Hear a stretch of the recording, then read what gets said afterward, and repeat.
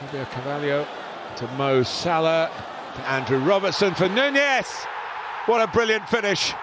And that has finished off Manchester City. He's been a hit since he came from the bench. And the biggest blow of all to the champions comes deep, deep into stoppage time.